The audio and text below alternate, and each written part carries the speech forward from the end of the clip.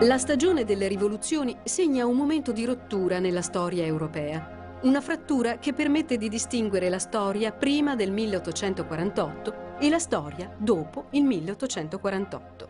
Si apre un nuovo periodo. Il panorama sociale è profondamente cambiato. Nella fase finale dei processi rivoluzionari, seppure segnati dalla sconfitta, ha preso corpo una inedita alleanza tra parte della borghesia e parte dell'aristocrazia, per isolare quelle frange popolari che affermavano richieste di tipo sociale. In Italia si stringono sul piano diplomatico e militare i rapporti tra l'impero austriaco, che controlla direttamente più di un terzo della penisola, e la Santa Sede. L'Austria appoggia quindi la restaurazione dell'assolutismo papale nello Stato pontificio. Nel Lombardo-Veneto il regime rimane oppressivo anche terminata la fase più dura della repressione. Non diversamente accade nel Regno delle Due Sicilie, dove Ferdinando II può ripristinare l'assolutismo senza aiuti esterni, provocando però il distacco definitivo degli intellettuali, costretti all'esilio o imprigionati, oppure ridotti di nuovo all'attività clandestina e lasciando irrisolto il problema della Sicilia, riconquistata solo militarmente. Il peso dell'influenza austriaca si dispiega interamente a Modena, a Parma e a Firenze, anche se nel Granducato la repressione è più mite che altrove.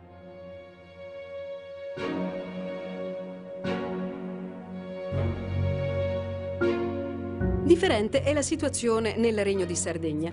Qui, infatti, l'adozione di politiche a favore del libero scambio e i forti investimenti pubblici nel campo delle infrastrutture creano le premesse di un periodo di sviluppo.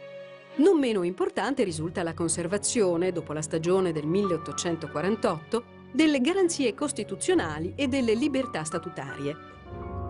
Le riforme compiute a tempo, invece di indebolire l'autorità, la rafforzano.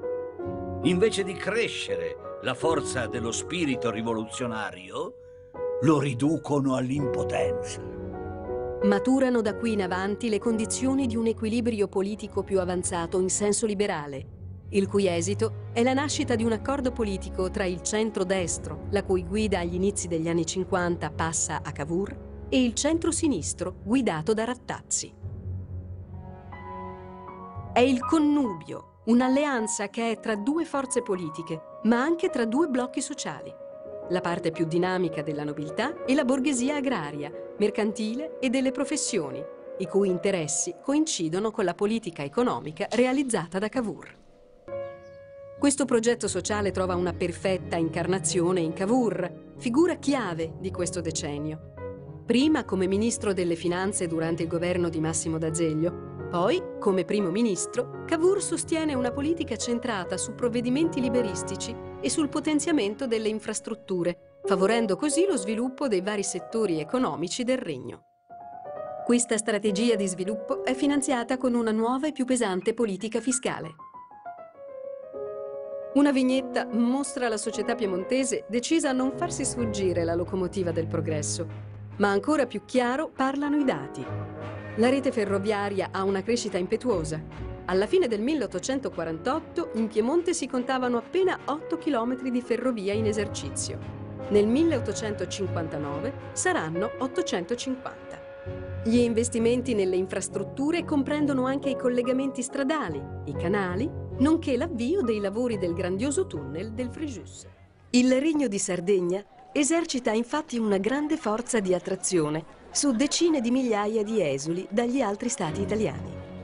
Patrioti, esponenti dei governi, dei parlamenti e delle gerarchie militari del 48 e del 49, giornalisti, scrittori, scienziati, avvocati, economisti, giuristi. Il fenomeno fa comunque di Torino la capitale politica di un'Italia ancora da unificare e nella Camera, nei giornali, nei circoli, nell'alta cultura comincia ad amalgamarsi la futura classe dirigente. E controversa è anche la decisione del primo ministro di partecipare alla guerra di Crimea.